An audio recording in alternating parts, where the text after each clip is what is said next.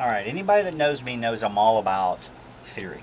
Because without the theory, you really don't have a chance when it comes to diagnostics like we have in 2.1 or even in some of the more complicated design questions that may actually be posed inside of CCIE Data Center version 3 coming up in February. So what we want to do is we want to make certain that we talk about this when and where possible. So what we have in our infrastructure is we have leaf 20, I'm sorry, spine 201 and we have spine 202.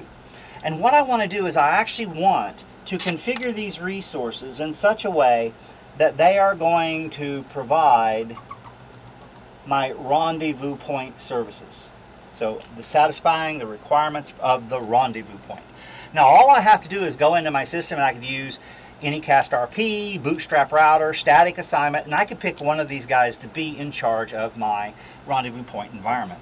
But what I want to do is I actually want to configure something called an Anycast RP and we're going to make reference to these resources acting in this Anycast RP environment by creating an Anycast RP set. Now, what I need to do in order to be able to make this work is I need some interfaces. So what we're going to do is we're going to create two sets of interfaces. The first interface is going to exist on each of these devices and it's going to use a unique addressing schema. Then what I'm going to do is I'm actually going to create an IP address and an interface and what will end up happening is, is these are going to actually share the same IP. So these will share IP. These will be unique.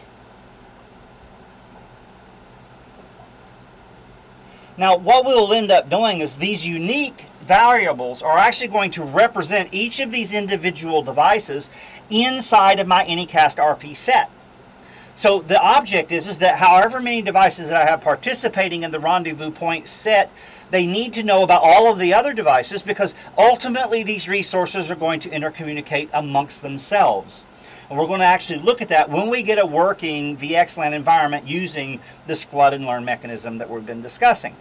So the object is, is we need to have addresses that are going to be unique, and we also need to have addresses that are going to be shared. So what I'm going to do is I'm going to create a shared address. So the shared address will be 10.1.200.200. So that's going to be my shared address.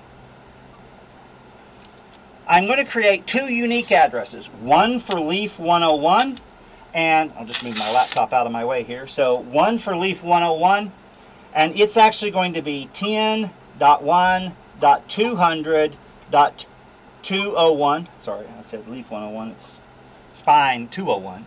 And then what we'll do is we'll create one for Spine 202. It will be 10.1.200.202. So here are my two unique addresses. Here is going to be my shared. Now the way that I'm going to do this is I'm going to create interfaces on these devices. So I will create loopback 201 and loopback 202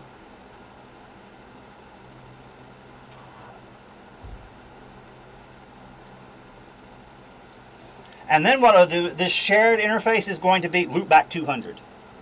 LO 200. Now, interestingly enough, for this to function, these interfaces have to be advertised in OSPF because they have to be reachable. And it's also going to need to be noted that they must be PIM enabled. Now the benefit here is, is that when we start looking at the implementation, these two devices can both service as rendezvous points. So this device would be able to function as a rendezvous point. This device will be able to function as a rendezvous. And we should be able to create the missing element in our VXLAN config. So ultimately what I want to do is I want to take this, make it real in the next video, and then what we're going to do is we're going to take the last steps with regard to creating those logical NVE interfaces that we described, and I can't wait to get started, so I'll see you guys there.